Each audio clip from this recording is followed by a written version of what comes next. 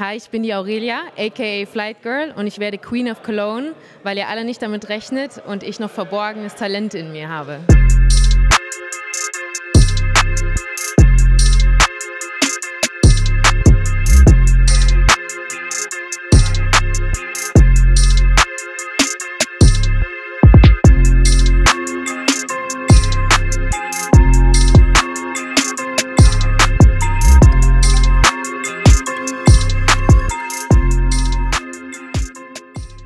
Und hier sind wir auch schon. Gestern habt ihr gehört, dass es weitergeht mit King of Cologne und wir sind hier und stellen euch den ersten Spieler bzw. die erste Spielerin vor. Natürlich haben wir die Lady ganz nach vorne gezogen und Aurelia ist ja auch keine Unbekannte hier im Basketballatelier. Du warst Gast bei Paul Gude trifft, du bist ähm, am Start gewesen für das eine oder andere Workout und jetzt bist du auch regelmäßige Mieterin hier im Atelier. Ist das vielleicht der erste Vorteil, den du mitbringst, dass du auch dich jetzt die letzten Wochen oft eingebucht hast, egal ob mit oder ohne Dr. Dish hier äh, selber trainiert hast, ist das schon ein Vorteil? Äh, ich glaube definitiv, weil man darf das echt nicht unterschätzen, weil der Court ein bisschen schmaler ist. Man kann nicht so ganz die Moves, wie man sie vielleicht sonst macht, wenn man gerade vom Corner viel wirft. Da muss man sich so ein bisschen ja, von diesem Gefühl halt drauf einstimmen.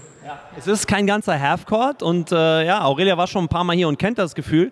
Jetzt ist es ja so, dass die meisten Teilnehmer schon ja, viele Jahre Basketball spielen und schon ein bisschen länger dabei sind. Du spielst jetzt zwei Jahre, aber mit deinem Arbeitseifer und dem, was du reingesteckt hast, habe ich so eine Entwicklung sehr, sehr selten gesehen. Also mittlerweile kommst du ja wirklich sehr, sehr gut klar auf dem Basketballplatz. Ähm, was bringst du mit, beziehungsweise gucken wir mal auf deine Player Card, ähm, ist dein Go-To-Move, den wir uns direkt anschauen, der Stepback. Funktioniert der auf beide Seiten? Äh, kannst du da den Leuten, zumindest den Zuschauern, ähm, schon ein bisschen was drüber verraten? Äh, der funktioniert tatsächlich auf beide Seiten ganz gut. Aber ähm, es gibt bei mir tatsächlich, also es ist so eine Sache, ne? weil links ist meine linke tendenziell die schwache Hand, dass man dann eher auf rechts geht. Aber theoretisch finde ich mit links besser. Also das ist noch so ein bisschen tricky, da arbeite ich noch dran. Aber ähm, ich glaube, den werde ich auf jeden Fall hier einbauen und den werdet ihr mal sehen. Mal gucken. Nice. Ja, wir dürfen nicht zu viel verraten, sonst hören uns die Mitspieler und wir verraten schon vielleicht zu viel. Ähm, was haben wir sonst noch? Oberliga, du hast, glaube ich, mal kurz im Verein gespielt. Sag doch mal kurz was zu deiner ähm, Vereinskarriere. Wie sah das aus? Ja, da war noch Corona so ein bisschen mehr im Start. Ne? Ich bin hauptberuflich Flugbegleiterin und äh, mittlerweile ist der ganze Flugverkehr halt schon wieder ziemlich äh, zugange. Und da hatte ich noch mehr Zeit und dann ging es im Verein. Für die, die halt schon im Berufsleben sind, ist es ein bisschen schwierig mit den festen Vereinszeiten. Deswegen, ich bin zwar noch in der Oberliga, aber gerade ist es super schwierig, weil wir sind unfassbar viel am Fliegen. Genau, mal gucken. Also die Zukunft, ich versuche es unbedingt, ähm, dass ich weniger fliegen kann und dann Verein wieder aufsuchen kann. Ja, weil ansonsten scheiße, kriegst du keine Spielzeiten am Wochenende, ne, wenn du im Training nicht bist. Ja. Deswegen auch der Name bzw. der Nickname Flight Girl für denjenigen, der es gewundert, den es gewundert hat. Ähm, jetzt wisst ihr auf jeden Fall warum. Jetzt äh, oder kommt da jetzt noch äh, die Dankformel ins Spiel? Nee, tatsächlich ist das ganz witzig, die Story hinter den Namen. Ich war in Toronto auf dem Freiplatz am Zocken und ich hatte ein Shirt an, äh, so ein Nike-Shirt und da stand Fly drauf. Und äh, ich, die Jungs kannten mich nicht, ich habe mit denen gezockt und irgendwann fangen die an als, ey, Flight Girl. Und dann war ich so, hä? Ich habe denen noch gar nicht erzählt, dass ich Flugbegleiterin bin. Und dann fand ich das so witzig, bin ich zu denen, ey Jungs, wer wusste, dass ich Flugbegleiterin bin?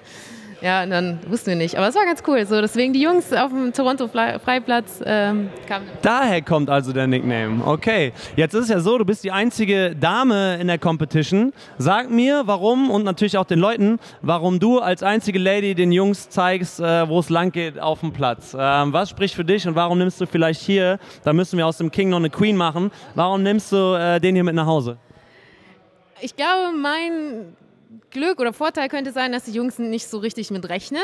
Und ich glaube, wenn ich einen guten Tag habe, dann kann ich eine Mini-Chance haben. Aber das ist immer noch so, mir fehlt noch so ein bisschen die Routine. Ne? Den einen Tag denkst du auf einmal, krass, was ist mit meinen Handles los? Und nächsten Moment denkst du, ich spiele das erste Mal Basketball. Also es kommt ein bisschen drauf an, wie kann ich die Aufregung auch kontrollieren und ähm, mal schauen. Also ich glaube, ich kann mit diesem Überraschungsmoment dann punkten. Ja, wir hoffen, dass die Handles on point sind und der Rest natürlich auch. Und wir müssen noch über eine Sache sprechen, über das Schuhgame. Ja, die Leute fragen sich oft und auch in den Kommentaren war zu lesen, ey, was hat der Schuh, was ist für die Schuhe? Und ich weiß, dass du auch jede Menge Sneaker am Start hast. Für welche hast du dich entschieden? Du hast sie wahrscheinlich hier schon mal am Boden äh, getestet. Äh, und warum und was ist es geworden? Und war das schwer, diese Auswahl? Nimm die Leute mal mit auf die Reise, ähm, welche Sneaker es geworden sind für heute. Ja, das ist tatsächlich äh, ganz bewusst. Also das sind äh, LeBrons Soldier 14. Und was bei denen echt ziemlich nice ist, also die sind nicht wie die typischen LeBrons sonst. Die haben ja keine Lasche direkt, die sind wie so eine Socke und trotzdem, obwohl sie so bequem das Gefühl wie von so einer Socke haben, hast du trotzdem einen guten Halt hinten an der Ferse, weil ich finde schon, gerade wenn du so all in gehst und halt richtig irgendwie ja, sage ich mal, bereit bist, alles zu geben, dann ist so ein leichter Support schon ganz nice, aber trotzdem mag ich dieses Gefühl, dass es halt äh, der Schuh nicht, dass du nicht so bewusst wahrnimmst. Und muss ich sagen, ist ja ziemlich nice und er hat eine geile Farbkombi. Also. Okay. Das heißt, der nächste Sneaker-Performance-Test gibt es dann bei Aurelia auf jeden Fall auf YouTube. Äh, sie kennt sich ja aus mit den Schuhen. Und ähm, yes, das war Aurelia, die erste Spielerin. Morgen geht es weiter mit Spieler Nummer zwei. Viel Erfolg dir natürlich in der Competition. Ich bin mir sicher, wir werden alle zuschauen und gucken und dir die Daumen drücken. Und äh, für euch gibt es morgen den nächsten Spieler. Bis morgen.